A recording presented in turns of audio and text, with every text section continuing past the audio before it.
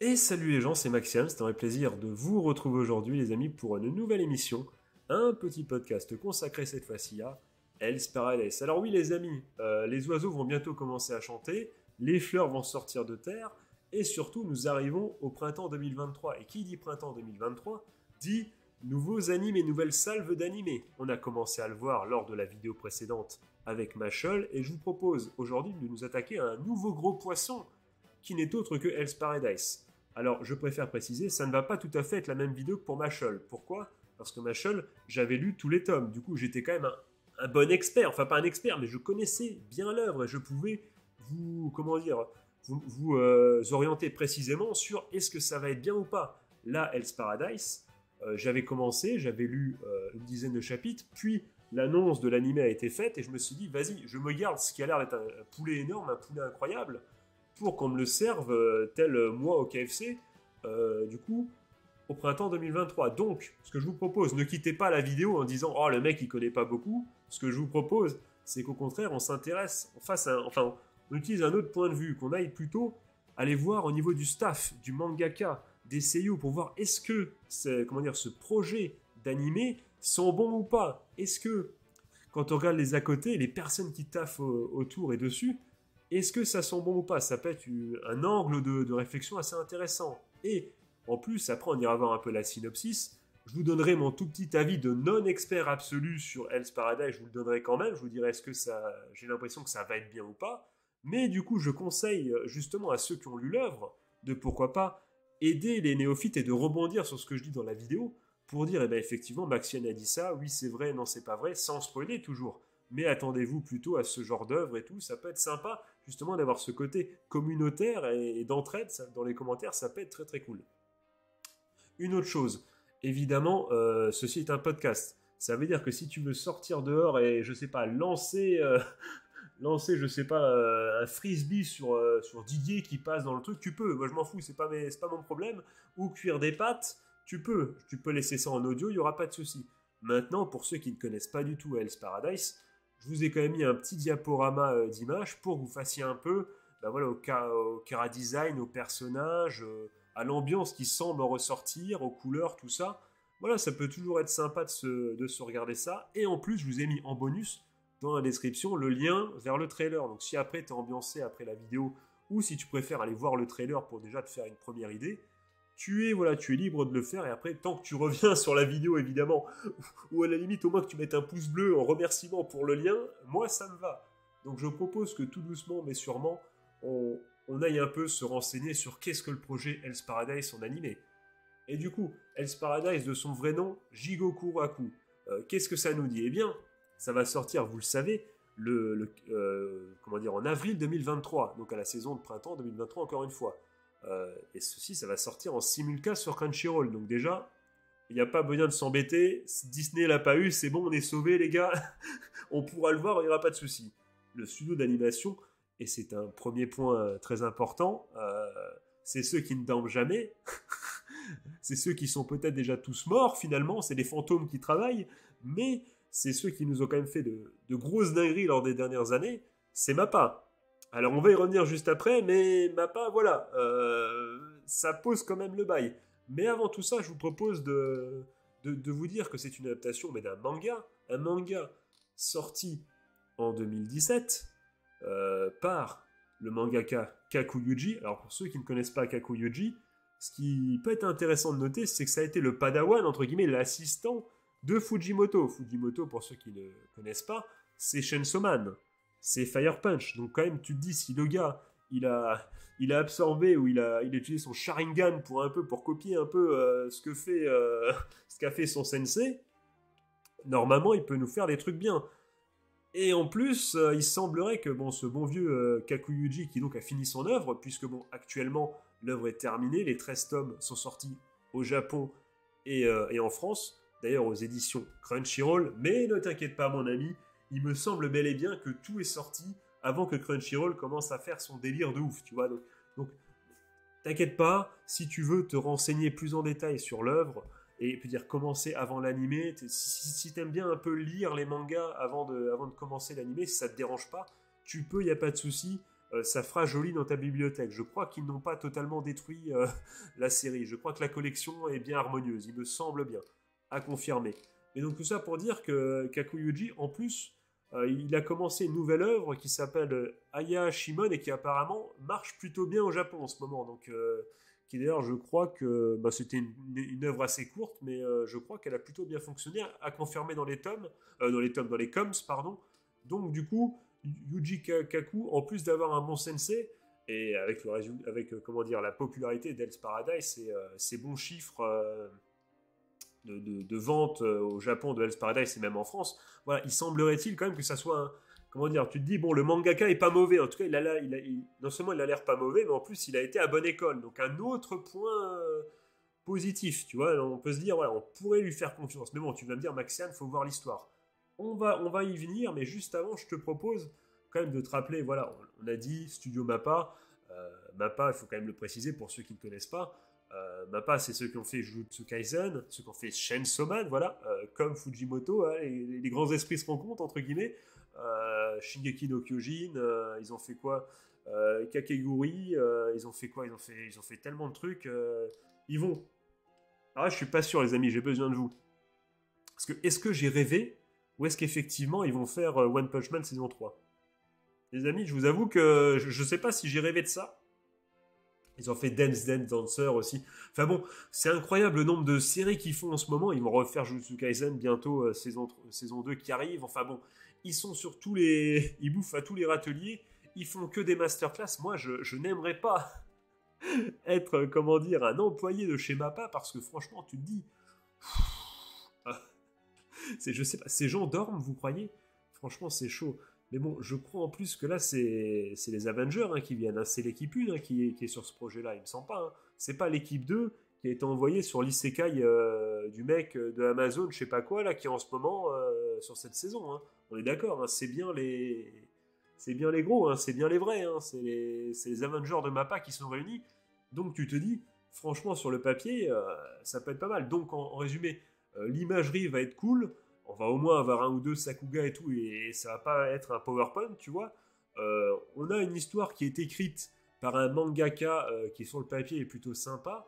Maintenant, ce que je voulais dire, c'est qu'également, si, si tu as, déjà été voir le trailer, on peut, en quelques secondes, tu, tu regardes le, comment dire, tu, tu regardes et tu écoutes surtout le trailer, tu, observes direct que le compositeur, à mon avis, c'est une masterclass. Rien que l'OST du trailer, tu dis, ok, on est dans une, on est en plus à l'époque Edo, il y a moyen, voilà, ils savent faire les mecs, ils savent faire. C'est foutre une bonne ambiance euh, à une époque, voilà, ils connaissent, ils connaissent le moyen de le faire. C'est leur histoire, tu vois. Donc, j'ai vraiment, j'ai pas de, je n'ai absolument pas peur. L'OST va être une dinguerie. Donc, visuellement, ça va être beau. Euh, et c'est au niveau du son, ça va l'être aussi. Maintenant, je te propose de parler des voix. Voilà, ça peut être aussi très intéressant. Est-ce qu'on a un casting de seiyuu sympa ou pas? Réponse tout de suite. Alors, comme Machel, je vais te laisser de côté le héros. Pourquoi? Parce que déjà c'est le même seiyuu et du coup je vais raconter exactement la même chose.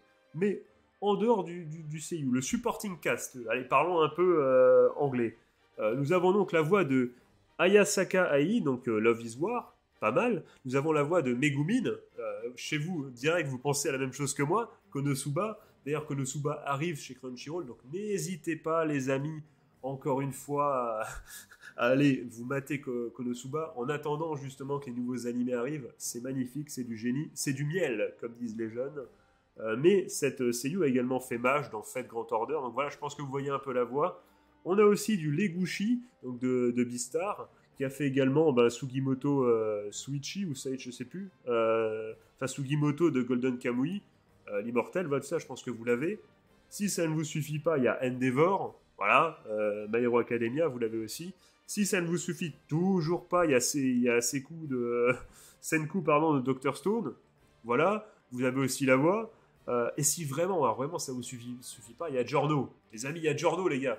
Déjà de base, quand dans un animé, il y a la voix d'un comment dire d'un héros de Jojo Bizarre Aventure ou d'un méchant, tout ce que tu veux, c'est gagné. C'est franchement, c'est sûr, c'est sûr, c'est craqué. Donc déjà, c'est c'est une bénédiction, tu vois. C'est sûr, c'est auto-win avec ça.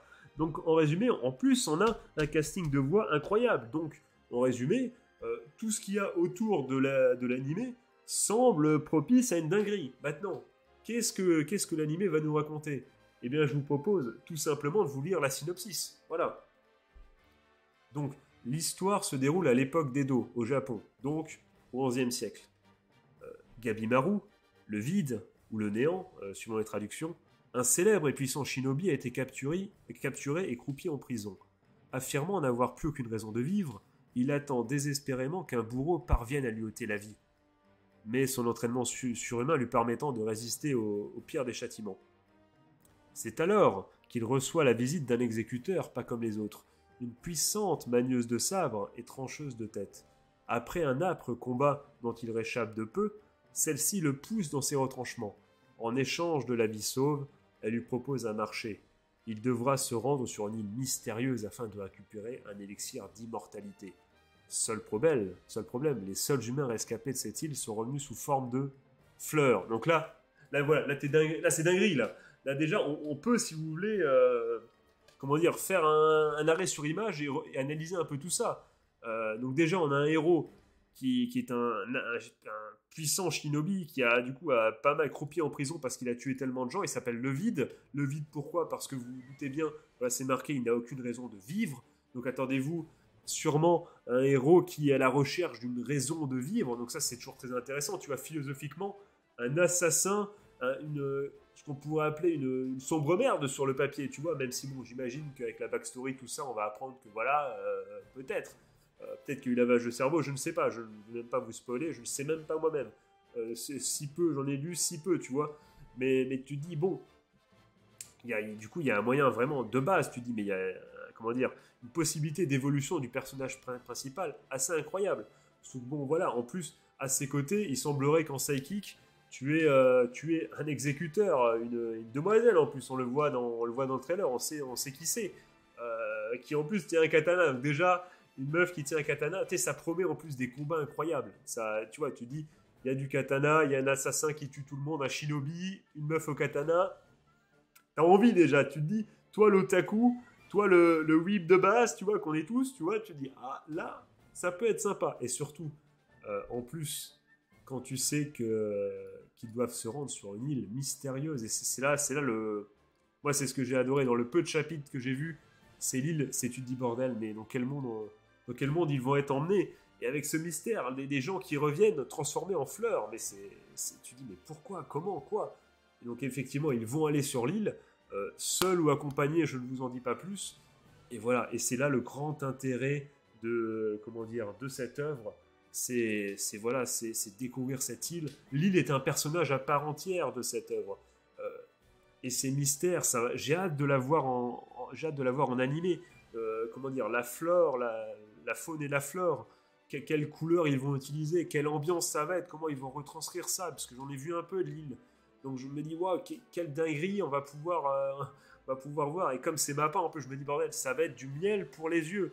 Rien que pour ça, les amis, euh, franchement, vous devez essayer. Euh, en plus, comme je l'ai dit, voilà, un anti-héros parfait, il y a plein de choses à dire sur les motivations, sur, sur pourquoi vivre, tout ça. Enfin, vous voyez, vous le sentez à la synopsis qu'il y, a des thèmes qui vont se dégager, des thèmes assez matures. On n'est pas là pour parler d'amitié, tu vois. Il n'y a, pas d'amitié, il n'y a, a, pas d'amour, il n'y a pas ce genre de truc. C'est vraiment, c'est des sujets, ça va être lourd, euh, que ce soit en, thème euh, philosophique ou même en, baston, puisqu'on le voit un peu dans le trailer, ça va se taper. Franchement, tu, mets ça encore une fois avec un casque de Seiyu incroyable. S'il y a une bonne animation, pour moi, j'en attends beaucoup et je pense que ça va être une réussite. Alors je sais pas du coup, vous, maintenant que vous ai dit un peu tout ça, qu'est-ce que vous en pensez? Est-ce que vous, pour vous, ça va être une dinguerie ou pas? Moi, je vais pas me mentir, ce n'est qu'encore une fois qu'une, euh, qu'une supposition, vu qu'encore une fois, je n'ai pas vu, je n'ai pas lu beaucoup de chapitres du manga. Mais franchement, pour moi, euh, on a peut-être l'une des dingueries. Franchement, à part Oshinoko qui pourrait euh, qui pourrait le détrôner. je, terme, je, parle juste en termes de nouvelles animé, de nouvelles licences, évidemment. Euh, franchement, à part Oshinoko, je vois pas qui sur le papier va l'exploser. Je pense que Mashal sera quand même un peu au-dessus. J'en attends vraiment beaucoup. Alors, au moins, à moins que les gens dans les coms me disent que l'histoire finalement, euh, ah, mais franchement, pour une première saison en tout cas, découvrir, euh, découvrir l'ambiance sur l'île avec ce huis clos dans l'île, tout ça là, c'est franchement tous ces thématiques sur la mort, la vie, tuer quelqu'un, la rédemption ou pas, voilà, tout ce genre de thèmes, franchement, et puis les relations, et puis évidemment, il y aura ce côté un peu est-ce que tu es mon allié ou pas Est-ce qu'on peut faire confiance Tout ça.